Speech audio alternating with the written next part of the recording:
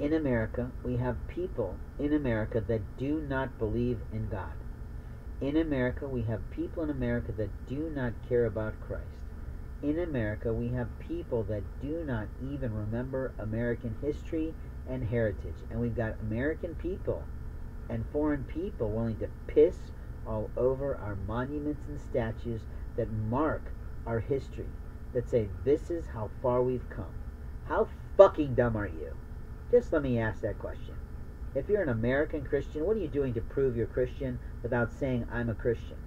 The thing that pisses me off more is that people walk up to me to try to force feed me in their concept of power of I'm doing this for you. No, you're not.